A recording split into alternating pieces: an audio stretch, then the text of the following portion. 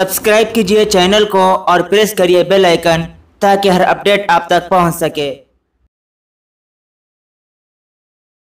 असलकुम खिलाफत अब्बासिया अपनी हुक्मरानी की आखिरी हिचकियाँ ले रही थी। इस्लामी रियासतें तकसीम हो रही थी और उनके बाशिंदों में आपसी तनाफुस और इफ्तराक व इंतशार का जहर फैल रहा था। ग्रोही इख्तलाफात उनकी जड़ें घुन की तरह खाए जा रहे थे।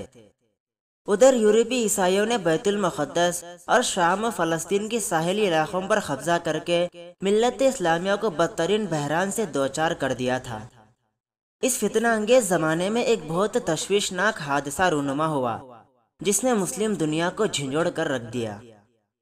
मुर्रखिन ने लिखा कि पाँच सौ सत्तावन हिजरी में ईसाइयों ने अपनी खुफिया मजलिस में मुतफ़ा फैसला किया कि रसूल अकरम सल्लल्लाहु अलैहि वसल्लम की खबर मुबारक से आपका जस्ते अथर निकाल कर अपने कब्जे में ले लिया जाए।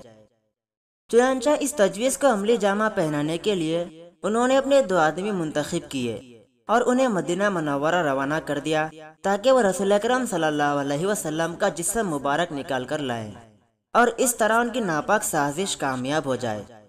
वो दोनों आदमी मदीना मुनवरा पहुँचे। उन्होंने मदीना के बाशिंदों के सामने अपने बारे में ये ज़ाहिर किया कि हम मगरबी है। और हमारा ताल्लुक अंदलुस से है। ये दोनों मस्जिद नबवी से बाहर खिबले की जानब आले उमर की रिहायश गाह के नज़दीक ठहरे, जहाँ से रसूल अकरम वसल्लम की खबर शरीफ खरीब थी। वो रिहायश गाह दियार अशरा के नाम से मशहूर थी। जब मस्जिद नबवी की तोसे की गई तो मस्जिद नबवी के इर्द गिर्द के मकानात उसकी जद में आ गए और तमाम मकानों के निशानात मिटा दिए गए। ये दोनों नसरानी बाज़ार वह नेकी और भलाई के कामों में बढ़ चढ़कर हिस्सा लेते, नमाज़ पाबंदी से अदा करते। खबरस्तान बखी और रसूल अकरम वसल्लम की खबर मुबारक की जियारत इल्तजाम के साथ करते थे। इसी तरह उन्होंने अपने आप को नहायत नेक, परहेजगार और असहाब खैर की हैसियत से मुतारफ करा लिया। लेकिन अंदर ही अंदर वो अपनी नापाक साजिश की तकमील के लिए कोशा थे। जब उनके इर्द गिर्द बिल्कुल सुकून हो जाता और लोग अपनी अपनी जरूरियात में मशगूल हो जाते। या जब रात ढलती और सब लोग नींद के आगोश में चले जाते तो ये दोनों नसरानी अपने नापाक मकसद की तकमील में लग जाते। असल बात ये थी कि ये दोनों नसरानी अपने रिहायश मकाम पर खुफिया तौर पर एक सुरंग खोद रहे थे, जिसका रुख खबर नबवी सल्लल्लाहु अलैहि वसल्लम की तरफ़ था। सुरंग की खुदाई से जो मिट्टी निकलती, ये दोनों वो मिट्टी थोड़ी थोड़ी करके कभी अपने खरीबी कुएँ में डाल देते थे और कभी चमड़े की थैली में भरकर बखी खबरस्तान में फेंक आते थे। और लोगों के सामने ये ज़ाहिर करते थे कि वो बखी की जियारत को जा रहे हैं। ये दोनों अपनी घनौनी साजिश की तकमील के लिए एक मुद्दत तक लोगों की आँखों में धूल झोंकते रहे और अपना मजमूम काम अपने प्रोग्राम के मुताबिक मुसलसिल अंजाम देते रहे। जब उन्हें यकीन हो गया कि वो अब रसूल अकरम वसल्लम की खबर मुबारक के करीब पहुँच चुके हैं और मकसद हासिल होने वाला है तो उन्हें ये फ़िक्र दामन गिर हुई कि जज्द अथर को किस तरह निकाला और मुंतकिल किया जाए। चुनानचे वो रसूल अकरम वसल्लम का जज्द अथर अपने साथ ले जाने के लिए खुफिया प्लान बनाने लगे। उन्हें यकीन हो चला था कि अब बहुत जल्द उनकी नापाक साजिश कामयाब होने वाली है। लेकिन अल्लाह रब्बुल आलमीन उनकी घात में था।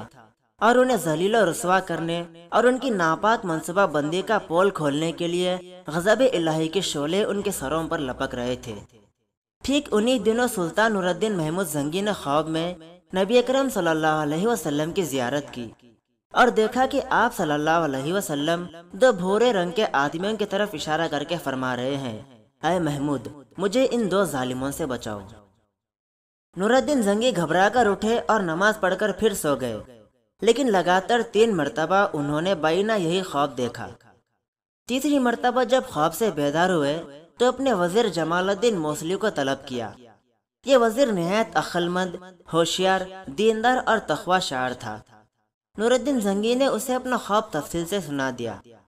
जमालुद्दीन मौसली ने बादशाह सलामत से कहा यह हादसा मदीना मनोवरा में रूनुमा हो चुका है। फ़ौरन मदीना तैयबा रवाना हो जाइए। और जो कुछ आपने ख्वाब में देखा है, उसे सैगाए राज में रखिए। सुल्तान नुरुद्दीन जंगी ने रात के बखिया हिस्से में मदीना मुनवरा रवानगी की तैयारी की और 20 आदमियों की निगरानी में बहुत से ऊँट लेकर रवाना हो गए। सुल्तान के साथ उनका वज़ीर जमालुद्दीन मोसली भी था, जो बहुत सा मालो मताबी साथ लिए जा रहा था। बाज मोर्रखिन का कहना कि सुल्तान के साथ इस सफ़र में एक हज़ार ऊँट थे। घोड़े और दीगर सवारियाँ उन पर मुस्तद थे। शाम से मदीना का ये सफ़र सोलह दिन में तय हुआ। मदीना पहुंचकर सुल्तान ने मस्जिद नबवी के अंदर रियाजुल जन्ना में नमाज़ अदा की और खबर नबवी की जियारत के बाद वहीं बैठ गए। उनकी समझ में नहीं आ रहा था कि अब क्या करे। इतने में वज़ीर जमालुद्दीन ने सुल्तान से पूछा, आपने जिन दो आदमियों को ख्वाब में देखा था, क्या आप उनकी शनाख्त कर सकते हैं? सुल्तान ने कहा हाँ। वज़ीर ने मस्जिद नबवी में मौजूद बाशिंदगा ने मदीना से कहा कि सुल्तान नूरुद्दीन जंगी आप हजरात के रूबरू तशरीफ़ फरमा है। उनके पास सदक़े के बहुत सारे अमवाल है। आप लोग अपना अपना हिस्सा अभी ले ले।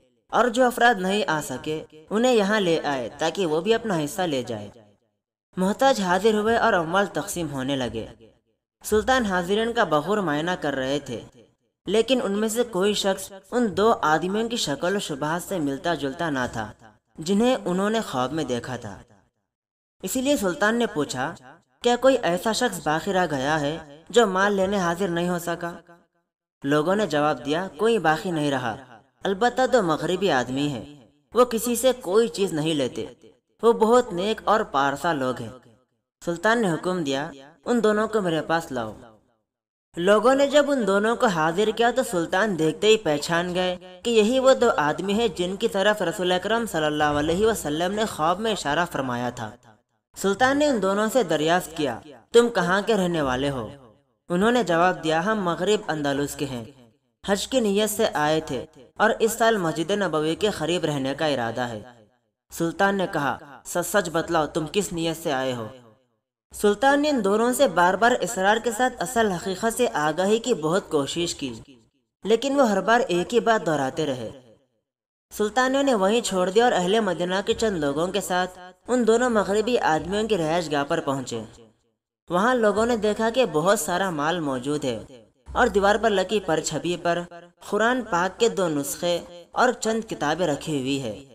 उसके अलावा कोई और चीज़ उनके रहायश गाह में नहीं थी। सुल्तान उस गाह का अच्छी तरह मायना करने लगे और चारों तरफ़ घूमने लगे। अल्लाह ताला ने सुल्तान को इल्हाम किया और उन्होंने अचानक गाह पर बिछा हुआ खालिन उठाकर देखा। खालिन के नीचे लकड़ी का एक तख्ता था। जब तख्ता उठाया तो इसके नीचे खुदी हुई सुरंग नज़र आई, जो सीधी खबर नबवी की तरफ़ जा रही थी और मस्जिद नबवी की दीवार की हद पार कर चुकी थी। अहले मदीना ने जब यह मंजर देखा तो उन पर दहशत तारी हो गई और वह घबरा गए, क्योंकि उन दोनों मगरबी शख्सों के बारे में उनका एतकाद बहुत अच्छा था। और वो उन्हें तखवा और परसगारी का मुरख समझते थे।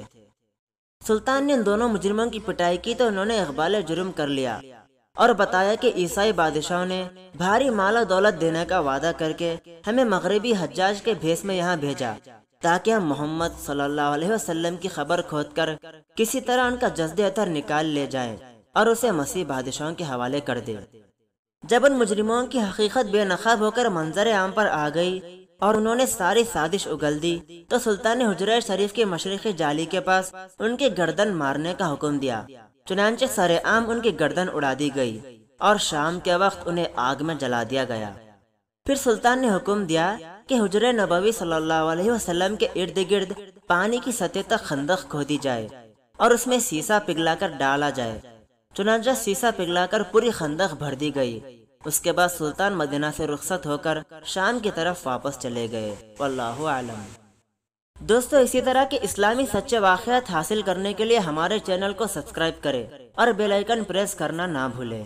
इंशाल्लाह मिलते हैं आने वाले वीडियो में। जब तक के लिए अल्लाह हाफिज़। अस्सलाम वालेकुम